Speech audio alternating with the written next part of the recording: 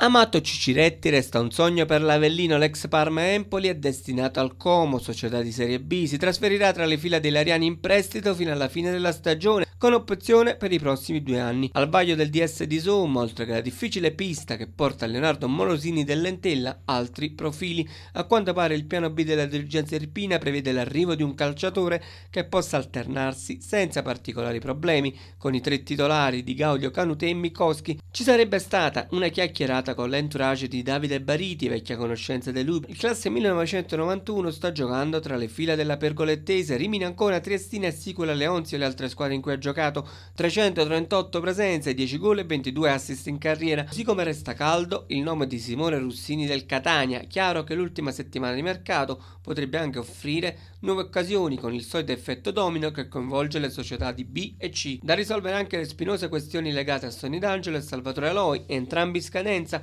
per quanto riguarda il siciliano, la permanenza all'ombra del Partenio sembra essere difficile. In settimana dovrebbe esserci il faccia a faccia per lui e per Agostino Rizzo, altro calciatore assistito da Lara Palmeggiani e per cui il padron D'Agostino è pronto ad intervenire in prima persona, rinnovando l'intesa a centrocampo e sempre vivo l'interesse per Giuseppe Rizzo del Pescara, ex Vicenza e Catania. Il Potenza ha fatto un nuovo tentativo per Andrea Sbraga e Vincenzo Plescia. Il difensore quasi sicuramente lascerà l'Irpigna mentre persistono ancora dubbi sul futuro dell'attaccante che ha diversi estimatori.